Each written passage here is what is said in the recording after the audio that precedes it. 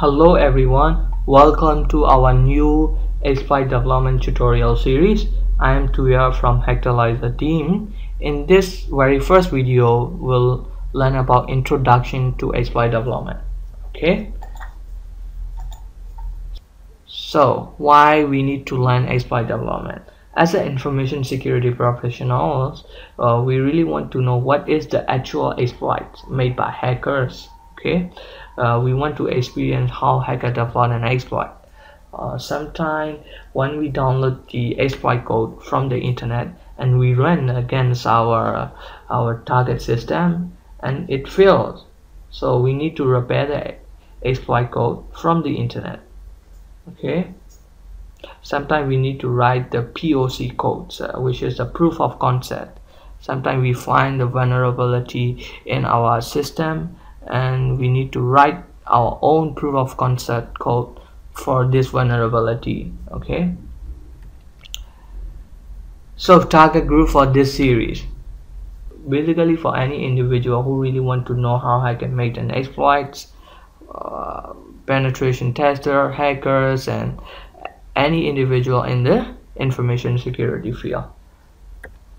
Alright prerequisite uh, we have to know some basic information about assembly language. We need to experience uh, Metasploit and other automated exploit tool. We need to have the general ethical hacking experience and we need to do a lot of research. Alright so today's scenario. We have a machine running a Kali Linux and we have a we'll use this machine as an attacker machine and we have the Microsoft Windows 10 32-bit version. Uh, in that machine, we have a third-party FTP server running on port 21. So we'll use this one as a victim machine. So we'll find a vulnerability on that FTP server and write the exploit codes. Again, it's okay. So it's time for demo. So let's go to our Kali Linux here is our Kali Linux uh, we use this one as an attacker machine. Okay. Here is our window machine. We ran pcman ftp server on this machine. Okay. Now the ftp server is online with the ip address 192.168.0.1 okay. Go back to Kali Linux uh, first we need to do fuzzing attack to know where is the vulnerable point of the ftp server so let's write our fuzzing script. So cd hacktalyzer okay so.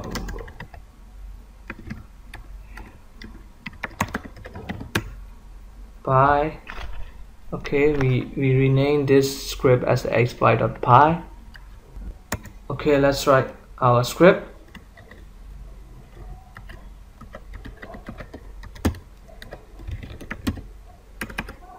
first declare the python interpreter part and then import the socket library. My sock is a variable and then we use the socket.socket .socket method.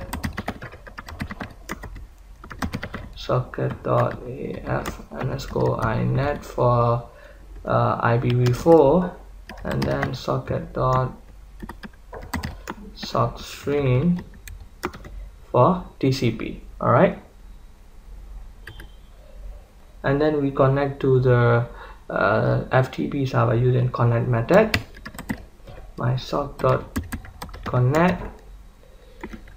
192.168.0.1 is the FTP server IP address and then the port number all right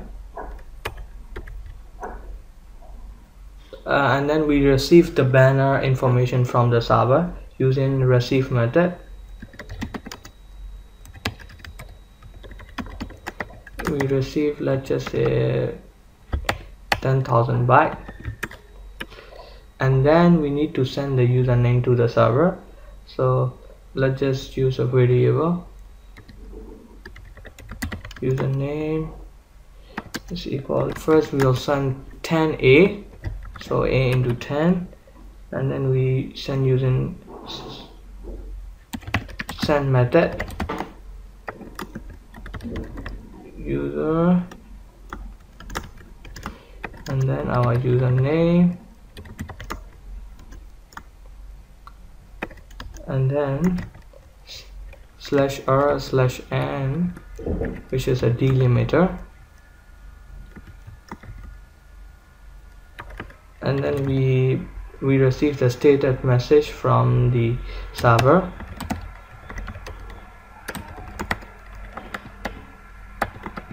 okay and then we send the password.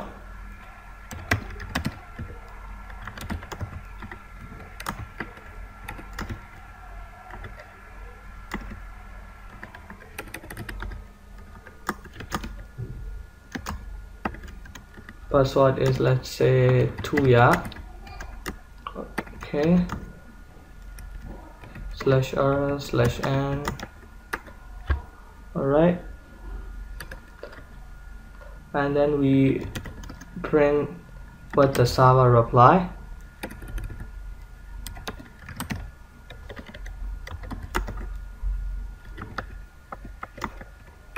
And then we close the socket. Uh, okay we need extra parentheses here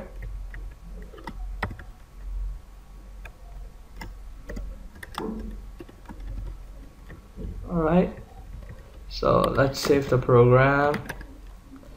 Change the permission to executable mode. And then let's run the exploit. Alright. Here we go. Now first FTP server is given as the banner of this server. And then we send a username. It's a username okay need password. And then we send a password and we are not logged in because we don't have the proper credential okay let's check the FTP server log first uh, it, the, our Kali IP address is 192.160.254 and then we send a 10a and then we send our password and we are not logged in. All right so let's try with uh, some more payload. All right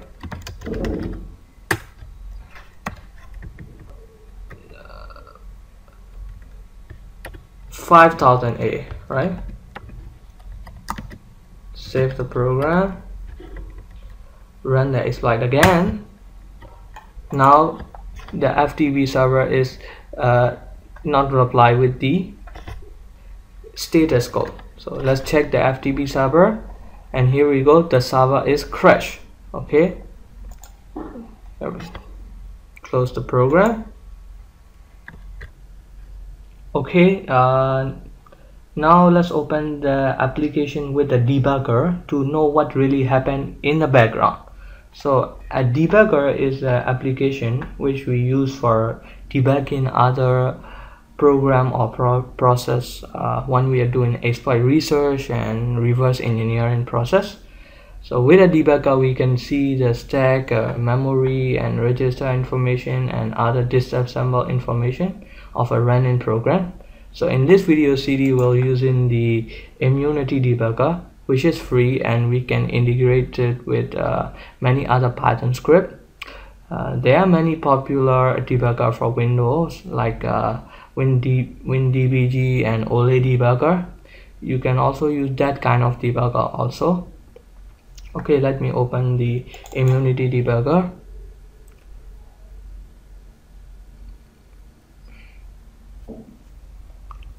and then open our FTP server.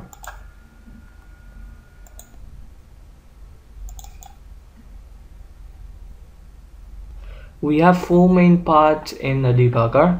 The left pane here is the disassemble output of our FTP server binary and this pane show the CPU register which is a very important pane for us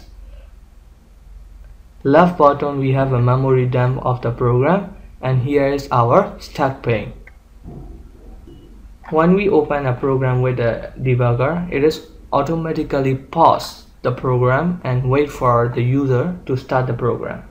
Okay let's run the program. Here we go. Now the program is running the P the FTP server is online okay? Let's go back to the Kali Linux and run the exploit again. Here we go. Now the FTP server is crashed. And then we see the register and other information in the background now we see we can control the EIP because EIP is uh, full with 4141 it is the hex value of the capital letter A. Okay now we know the application vulnerability and we put our data into the EIP the vulnerability field is the username field. Okay so let's uh, restart the program run the program again. Okay now the FTP server is up and running. Uh, for the second step we need to calculate the distance to the EIP uh, we need to know how far we get to reach the EIP right so EIP is a very important uh, it is the extended instruction pointer. If we can control the EIP then it's basically say we can move our execution flow to our own malicious code or our own shellcode. so in order to search the EIP position we will send a well created pattern from Metasploit tool instead of sending a bunch of aids okay? Let's create a pattern using uh, Metasploit tool. Let's go back to Kali Linux let's open a new terminal. Okay let's go to the metasploit directory usr share metasploit framework tool exploit okay? And then we need to use the pattern create script.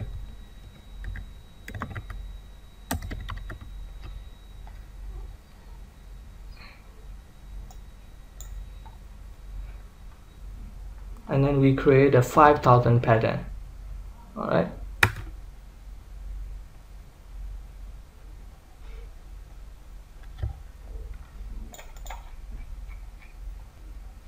so we copy this pattern.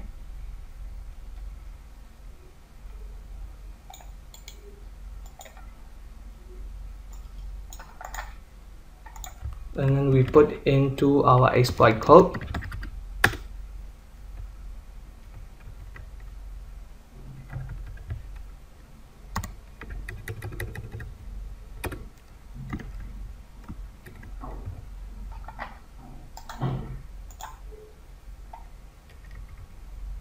Alright, so let's save the program. Run the exploit again. Okay, the server is crashed. Alright, here we go. Now we have the EIP uh, full with this value. Now this value is the hex value of 4 character in our ASCII pattern. We can find manually but I'll use the, another tool called pattern offset in which we can find automatically where is the exact place of this value in our pattern. Let's go back to Kali Linux and then we use the pet pattern offset and then the as the hash value is 38 sysf4337 38 sysf 4337 right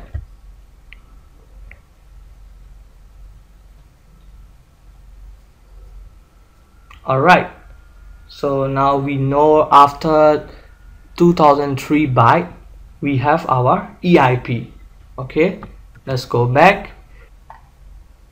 Also we need to check the ESP which is the extended stack pointer which point to the top of the stack. So now ESP here we go.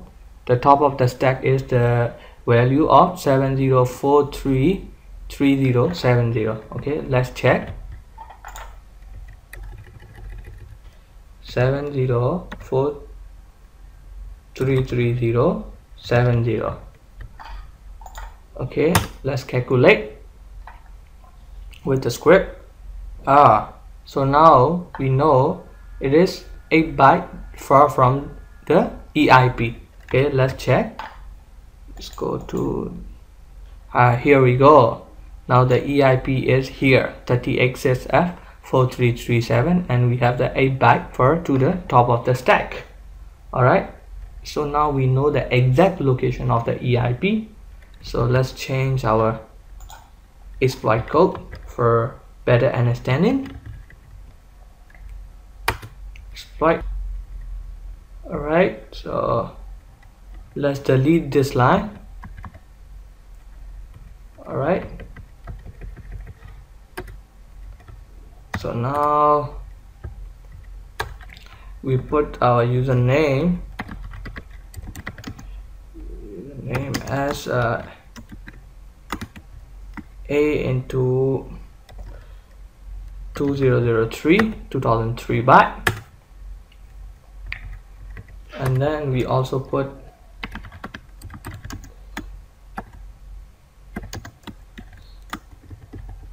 for B for the EIP and then and we put 3000C alright so let's save the program. Yeah. run the X now the server is not responding properly so let's check the server. And we have EIP with 42 42 42 42 which is our 4b so we can check here. We have a bunch of a and then we have our EIP which is 42 42 42 and then we have our C. Alright? So all are running well. So let's go back to Kali Linux and change our exploit code. Now is the time to figure out how we can put our own malicious code or shell code into the application. So let's first generate the shell code. Okay.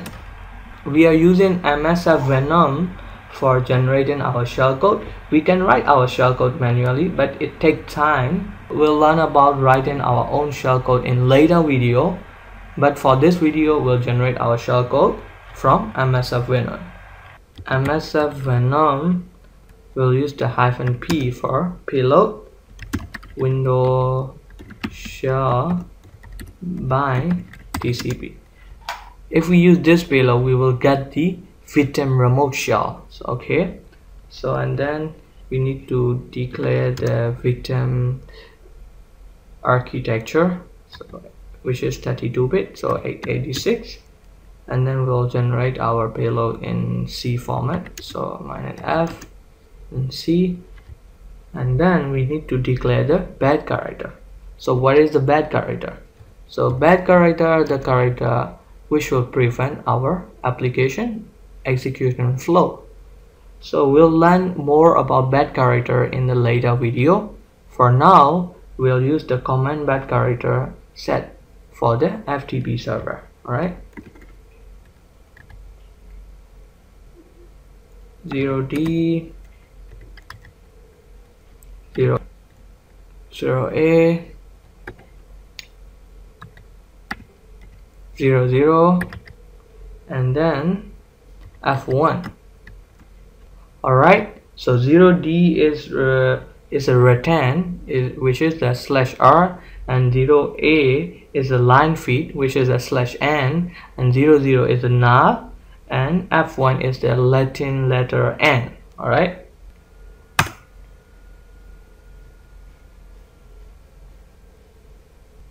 okay now we got our shellcode so let's copy this one and put it into our exploit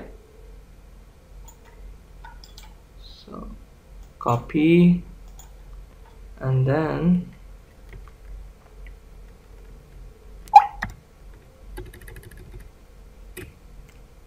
okay let's put here. All right. So now we have our shell code but we need to go from EIP to our shell code so we can put the ESP address into the EIP then it will be okay. Because EIP is also point to the next instruction so let's check the ESP address. Here we go.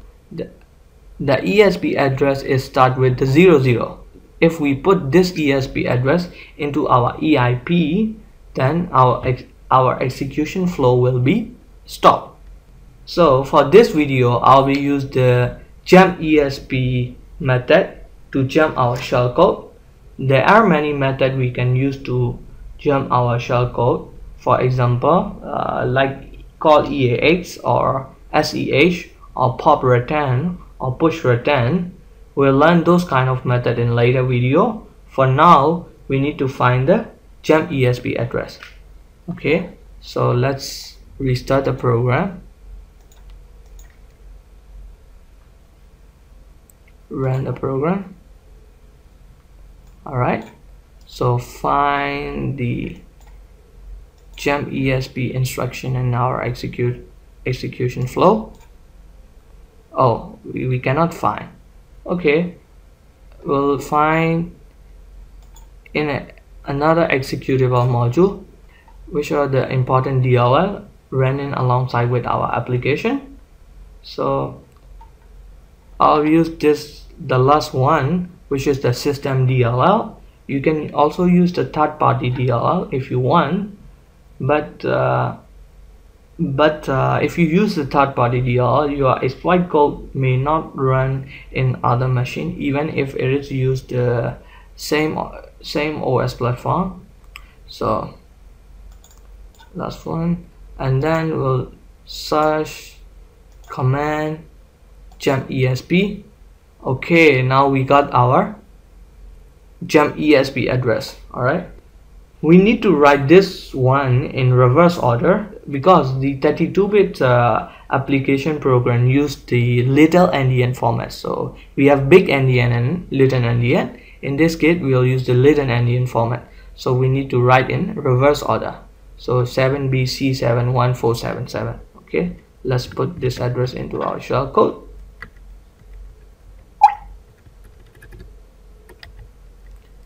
7b c7 okay. So after that I'll put some no operation instruction.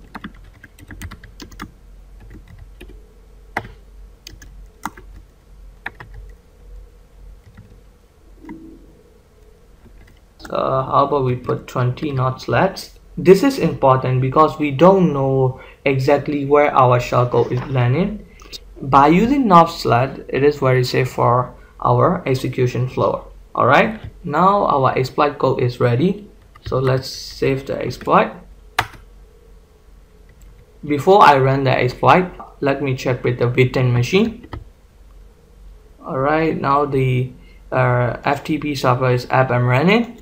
Okay so let's open the network statistic utility. And then we don't have any port 4444 is opening okay? So let's go to the Kali and run the exploit. Okay now the exploit seem working. And then we'll check with the network statistic. Here we go. Now we got the port 4444 is opening so let's verify from the Kali side. Let's open a new terminal. And then using netcat to connect the server port number 4444 here we go. Now we got the remote shell from the V10 machine. All right. So okay. Let's close all this. Okay. So all right. So let's run the exploit again without the debugger. Okay. So now the server is up and running. Run the exploit. And then we connect back to the server with port number 4444 here we go. Now we got the remote shell. All right. So let's go back to our slides.